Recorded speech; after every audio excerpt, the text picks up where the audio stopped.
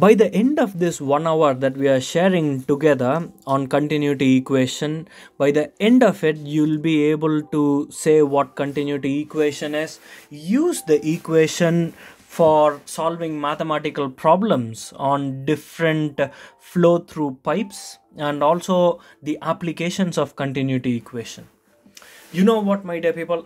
I would like to take you all to the next level of your understanding in which i well i just say it as i would really like to empower you and to inspire you with continuity equation so that you can start thinking of how you'll be able to use it for sustainable development. Uh-huh that is what i call as taking you to the next level.